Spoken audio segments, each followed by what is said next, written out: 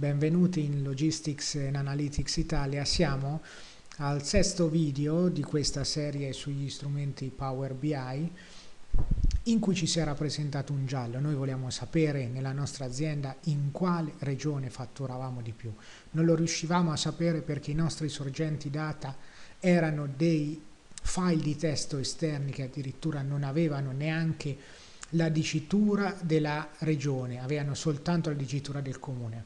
Abbiamo preso questi strumenti esterni, li abbiamo usati come sorgenti per queste mh, mm, tabelle Excel, abbiamo creato questi oggetti Excel. Mi raccomando, ogni volta che utilizzate questi strumenti così dinamici, sempre verificare il formato colonna per colonna, formato numero, formato data, formato testo, formato valuta, formato numero, formato testo. Perché verificare colonna per colonna? Perché quando queste entità tabulari inizieranno ad entrare in un'architettura logico-relazionale, ebbene sarà proprio il tipo del dato a consentire a questi strumenti di ripercorrere a ritroso queste relazioni, quindi dal testo siamo passati alle tabelle, poi queste entità tabulari noi le abbiamo usate come sorgenti dati esterni per un'architettura fatta con Power Pivot. Allora andiamo con Power Pivot e ci inseriamo, finestra Pivot, clic e vediamo che abbiamo presente la nostra struttura. Abbiamo semplicemente rinominato eh, le tabelle per maggior chiarezza.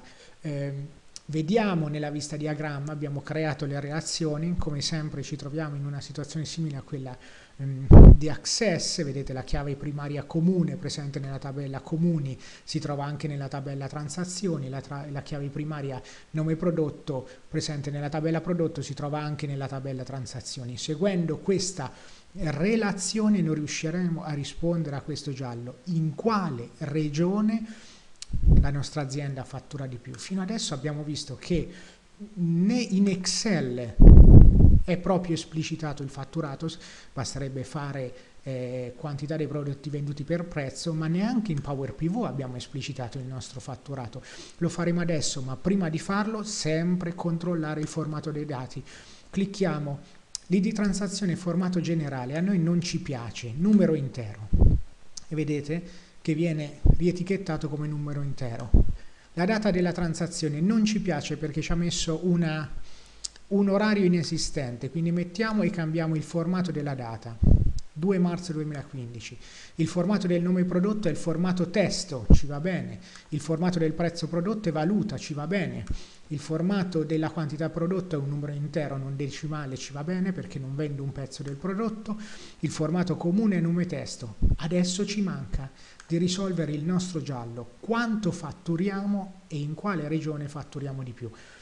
Lo scopriremo inserendo un calcolo di tipo relazionale. Che cosa vuol dire? Che utilizzeremo questo nuovo linguaggio di AX che sembra avere un po' dei comandi in SQL, un po' delle funzioni in Excel e un po' dei comandi nuovi per comprendere qual è il nostro fatturato. Noi scriveremo fatturato, due punti, guardate qui nella, nella casella funzione, uguale, cioè etichetteremo questo nuovo campo che non è un campo né una riga né una colonna, è un campo di intersezione perché con questa entità fatturato noi riusciremo a chiedere finalmente a questo strumento estrapolami la regione che guadagna di più.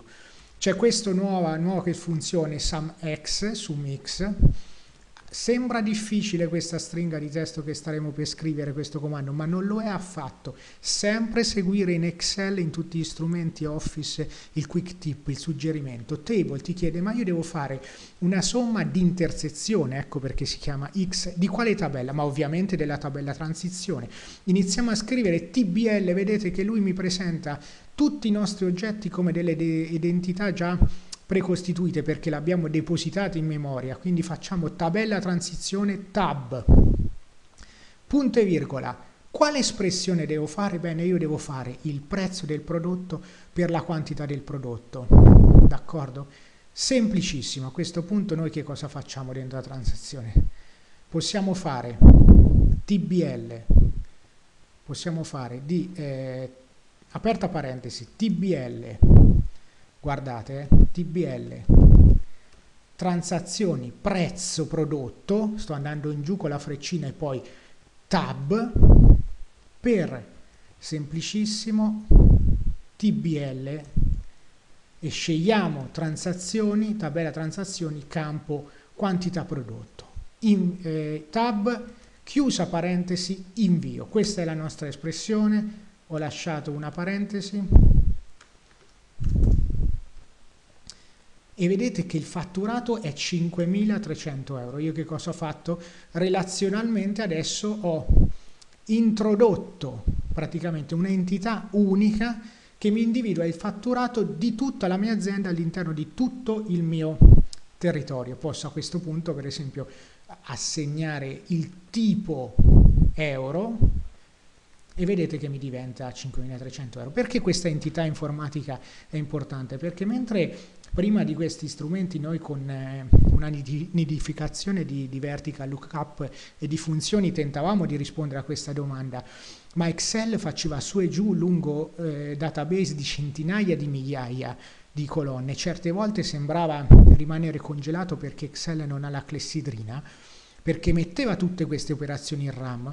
In realtà questa entità informatica è depositata in una porzione diversa del documento e viene calcolata soltanto alla bisogna. Questa è la eh, fondamentale differenza fra usare Power BI, Business Intelligence con Power e Power Query in Excel semplicemente, perché se noi abbiamo un file Excel non normalizzato di, di, vecchia natura, che ad esempio 30, è lungo 30 megabyte, occupa 30 megabyte all'interno dell'hard disk, se noi facciamo tutta una, una normalizzazione, inseriamo questa architettura relazionale, bene, Quel file, pur avendo delle funzioni simili o addirittura superiori, verrà compattato, occuperà tipo 3 MB all'interno del computer e riuscirà a risponderci relazionalmente con delle architetture logiche a delle domande che con Excel solamente non riuscivamo a fare.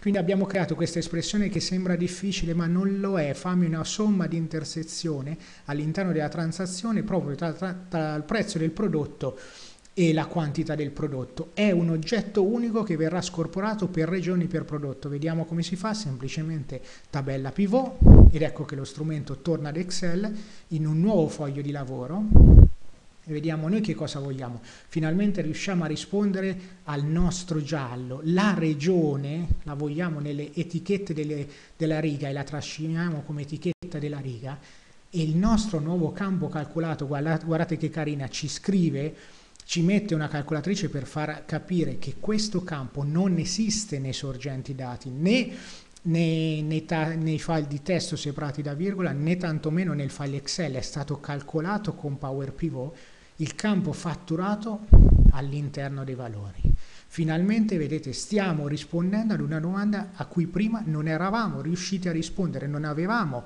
un'architettura di data model che ci consentisse di risolvere via, questa domanda. Vedete, la regione Sicilia è quella in cui la mia azienda fattura di più, si vede ad occhio, potremmo addirittura aprire dei nuovi negozi oppure potremmo decidere di aprire dove fatturo meno. Finalmente abbiamo risposto in maniera esplicita ad un quesito che prima era implicito. Il totale è 5.300 euro, e in Sicilia fatturo 2.450 euro. Noi dobbiamo capire che questo fatturato è stato fatto con, un nuovo, eh, con una nuova modalità di calcolo, SumX, perché pur essendo un'entità univoca viene scorporata relazionalmente per tutte le altre regioni, ma nella stessa maniera se io ho fatto ad esempio una tabella pivot, la posso andare con il tasto finestra pivot all'interno del tab Power Pivot, nuovamente nella mia struttura relazionale, tenere sempre eh, selezionato questo oggetto, questa nuova entità calcolata, l'espressione sembra più complessa di quello che è, e cliccare la freccetta invece di tabella pivot, cliccare grafico pivot. Vediamo se adesso così riusciamo a rispondere anche graficamente alla nostra domanda. Nuovo foglio di lavoro, ok. Left click, la stessa cosa, il nostro giallo era sapere in quale regione fatturavamo di più, e poi prendere il campo fatturato e mettere il campo all'inizio. Vedete anche in, questa, eh, in questo grafico pivot, che è la rappresentazione grafica di una tabella pivot, il quesito ha avuto una risposta che è veramente chiara. La regione Sicilia è la regione in cui si fattura di più. Ma se noi torniamo ad esempio alla nostra tabella pivot in cui questa entità era espressa testualmente, noi guardate che cosa possiamo fare. Noi possiamo prendere, per esempio, possiamo prendere all'interno della tabella pivot, il nome del prodotto e cliccarlo all'interno come filtro. Cioè noi possiamo aggiungere un livello ancora più tridimensionale. Vedete, non solo io da questa tabella pivot capisco quale, in quale regione, ma io posso selezionare per esempio divano. In inglese questi filtri vengono chiamati slicers. Cioè io vedo che il divano l'ho venduto solo in Sicilia e in Toscana, lampada, la lampada l'ho venduta solo in Sardegna, lo slittino soltanto in Sardegna e in Toscana, il tavolo soltanto in Umbria. Vedete che io sto inserendo veramente una serie di strumenti che mi consentono il data analysis. Questo è veramente il livello più strategico di questi strumenti. Partire da una serie di sorgenti di dati che non mi fa fare un data analysis non mi fa capire qual è eh, l'andamento del mio business ed arrivare a una serie di strumenti totalmente automatici come una tabella pivot o una, mh, mm, un grafico pivot in cui io posso fare data analysis al volo, al volo. Io non ho bisogno di chiamare nessun esperto perché siccome vedete cucina e sedia sono in grigetto vuol dire che io non ho venduto né una cucina né una sedia, cioè i miei prodotti cucina e sedia vanno malissimo, per qualche motivo l'ho sbagliati mentre il mio prodotto divano l'ho venduto, lampada l'ho venduto, slittino l'ho venduto, tavolo l'ho venduto. Dunque, noi siamo giunti finalmente alla eh, fine di questa serie eh, di video. Se eh, riusciremo, produrremo eh, l'ultima diciamo, rappresentazione cartografica dei nostri dati con eh, Power Map. Grazie di aver seguito questo video, al prossimo video.